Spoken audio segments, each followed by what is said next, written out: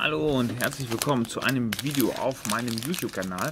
Es wurde mal echt wieder Zeit, muss ich sagen, dass ich für euch Proteinriegel teste.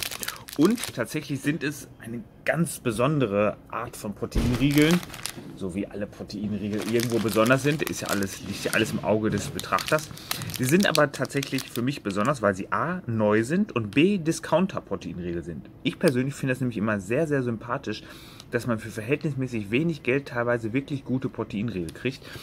Ihr findet zahllose Videos auf meinem YouTube-Kanal und auch ausführliche Berichte mit allen Facts zu Nährwert und so weiter auf meiner Webseite. Da müsst ihr auch mal reingucken.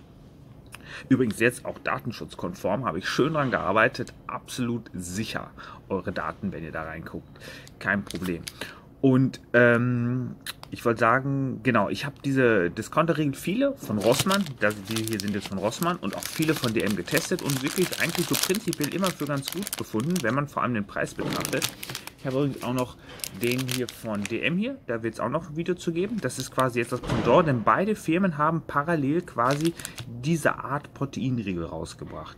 Diese Art wie Wider Yippie oder Body Attack Yambam und diese, ich sag mal, crunchy innen mit Cremefüllung, relativ fettreichen, aber zuckerarme Proteinriegel. Die halt vor allem auf Geschmack und Optik getrimmt sind. Die haben alle diese Riegel, auch wie gesagt von Wider und so weiter, die haben alle eins gemein. Außen Schokolade, oft so Karamell drin und innen so ein Kern mit ja, verschiedenen Geschmäckern. Wir gucken uns jetzt einfach mal diese beiden hier an, beziehungsweise einen von beiden. Welchen soll ich nehmen? Dir, ich, ich gucke jetzt mal nicht hin, mix hier einfach so ein bisschen mit meinen Händen. Ich, ich passe echt nicht auf, ich gucke nicht hin, mit den der jetzt in meiner linken Hand ist. Den Vanilla Chris, hierzu wird ein kleiner Nachtest folgen. Der Vanilla, ähm, Vanilla Crisp Geschmack Proteinriegel von Well Mixed Balance mit 33% Eiweiß. Hat gekostet 1 Euro, soweit ich weiß, also echt günstig. Ist lower in Carb, low in Sugar und high in Protein. 33% ist nicht high. Nein, die Aussage stimmt schon mal nicht. 45 Gramm, eine Portion, 1 Euro, wie gesagt, ist okay. So Wider Yippies gibt es auch als 45 Gramm Portionen. Ich glaube, die sind deutlich teurer, knapp das Doppelte. Und äh, die Body Attack Yambam, die sind doppelt so groß, kosten aber auch nochmal eine deutliche Ecke mehr. Ich glaube 2, 3 Euro, also über 2,50, 3 Euro oder so. Wie gesagt, das sind so die beiden Vergleiche. Da findet ihr auch Testvideos auf meinem Kanal. Und ich habe auch zum Beispiel, ähm, ich glaube, das war einer von Power Systems habe ich auch so eine Art Riegel getestet und da waren noch zwei da. Ich habe jetzt gerade den Namen vergessen. Da war mal in dieser Amazon Surprise Proteinriegel Box was drin. Da habe ich auch welche getestet gehabt. Hier jetzt aber nun der, wie gesagt, von Rossmann. Neu ähm, auf den Markt gekommen. Die Zutaten gucken wir uns mal an. Was haben wir hier? Die kann man so ein bisschen drehen, sonst ist der Schatten da drin. Wir haben einen Eiweißriegel Riegel überzogen mit Vollmilchschokolade, mit Süßungsmittel, Vanille-Crisp-Geschmack. Zutaten 30% Vollmilchschokolade. Da ist genau das. Diese Proteinriegel sind so eine Mischung zwischen Proteinriegel und Genuss, weil 30% Schokolade, das muss man eigentlich in einem Proteinriegel nicht drin haben. Es wird nämlich immens den Fettgehalt hochtreiben, was wir gleich an den Nährwerten sehen. Deswegen, es ist immer relativ. Was ist Fitness? Ist Fitness wirklich alles möglichst kalorienreduziert und nur das Wesentliche nur Protein, kein Zucker, weißt du? Oder muss. Das, man kann das so nicht beurteilen, hat jeder seinen eigenen Standpunkt oder sowas. Ich persönlich teste eigentlich fast alles aus Neugier. Wenn es um Proteinriegel geht, bleibe ich bei meinen Quest Bars. Die sind einfach geschmacklich grandios und die sind zwar teuer, aber es ist einfach geschmacklich, es liegen da auf Welten zu anderen Proteinriegeln. Ne? Die sind auch nochmal eine andere Art. Ne? Die sind oft mit diesem Isomalto-Oligosaccharid-Sirup gemacht, der als Ballaststoff verkauft wird, aber trotzdem den Insulinpegel steigen lässt. Dann gibt es, wie gesagt, Proteinriegel, so wie diesen hier, die nicht den Insulinspiegel steigen lassen, weil sie eben nicht diese Isomalto-Oligosaccharide nehmen, sondern, wo haben wir es hier? Maltit als Süßungsmittel, was übrigens hier auch als Kohlenhydrate deklariert ist, hier drin, aber eben diese mehrwertigen Alkohole. Und das sind die, die eben nicht den Blutzucker steigen lassen. So, wir haben diese Schokolade, die wie gesagt mit Maltit gesüßt ist. Dann haben wir Vollmilchpulver, ist in der Schokolade. So, und dann kommt genau Milchprotein, schon mal ganz gut. Leider auch, wie ich jetzt sehe, Kollagenpeptide, direkt nach Milchprotein genannt. Also es kann durchaus sein, dass wir hier von den 33% ähm, 17% äh, Milchprotein haben und 13, äh, 16% ähm, Kollagenpeptide. Ist schade schon mal. Ist bei den günstigen Riegeln aber oft so. Kann man jetzt sehen, wie man will. Es gibt nämlich deswegen der Vergleich zu den teuren Riegel. Genauso teure Riegel, die haben auch das billige, diese billige Eiweißquelle drin. Ne? Die, die, die, die pusht den Proteingehalt, aber der Körper kann es eben nicht komplett verstoffwechseln, wie andere gute Proteine aus Milch, Soja und so weiter und so weiter. Feuchthaltemittel Glycerin, die zählt übrigens auch irgendwo als Kohlenhydrat. Dann haben wir Sojaprotein noch drin, Füllstoff Polydextrose, Oligofructose, Süßungsmittel Maltit haben wir auch noch drin im Protein und Aromen Sucralose als Süßstoff noch. Hm, keine sowas wie ähm, Saccharin, Natrium oder ähnliches, wobei ich gar nicht jetzt weiß, ob das im Proteinriegel überhaupt verwendet wird. Sucralose haben wir jedenfalls drin. Jo, das ist der Riegel. Die Nährwerte gucken wir uns natürlich auch noch an. Wir haben 372 Kalorien, 15 Gramm Fett, äh, dann haben wir 33 Gramm Kohlenhydrate. Wie gesagt, die mehrwertigen Alkohole sind der größte Teil. Richtig Zucker ist wenig drin. 8,9 Gramm Ballaststoffe, das ist die Polydextrose, die drin ist. Und Eiweiß 33 Gramm. Ne?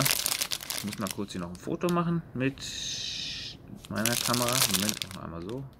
Sei mir verziehen. Und noch einmal so. Willst du mir auch auf Instagram geben? So, Jetzt gucken wir uns aber mal den Riegel an. Hat übrigens auch dieses schöne weiche Papier, dieses Plastikpapier. Ich finde das toll. Das ist, fühlt sich so weich an. Aber es gibt noch weicheres.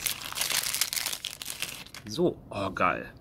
Hallo, sieht geil aus, oder? Richtig schön viele Crispies drin. Dick Schokolade, definitiv. Ich muss mal kurz meinen Teller holen. So. Sieht auf jeden Fall schon mal sehr pornös aus.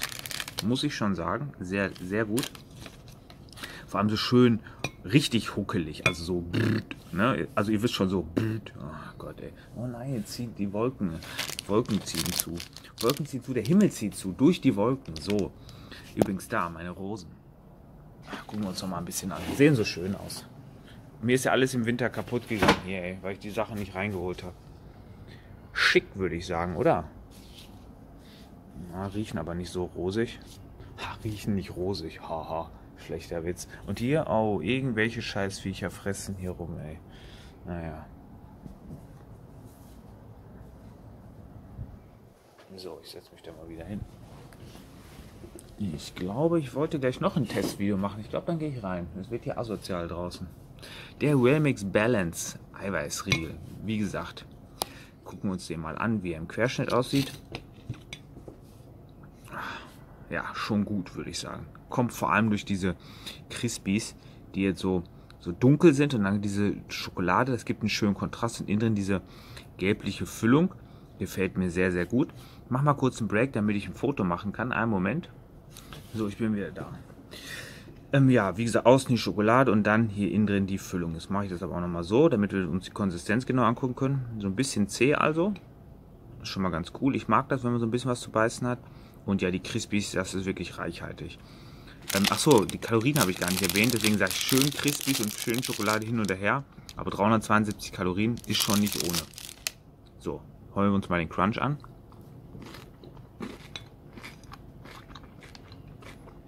Oh ja.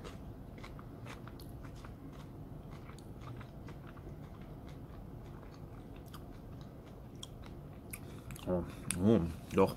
Oh ja. Lecker. Also vom vom Essgefühl her ein leckerer Riegel, vom Essgefühl. es knackt richtig, es ist crunchy, so wirklich lecker. Viel Schokolade außen, man kann das sicherlich auch so schön abnuckeln, sage ich jetzt mal. Hat man so den Schokoladengeschmack. Außen die Crispies, wie gesagt, sehr, sehr knusprig, wirklich gut gemacht. Innen drin die Füllung, sehr dezent vanillig. Und es ist oft so, dass diese Füllungen so ein bisschen muffig schmecken. Die hier auch nicht negativ muffig, aber dezent muffig. Ich kann das jetzt gerade nicht anders beschreiben. Ich, ich, ich probiere einfach noch mal ein Stück.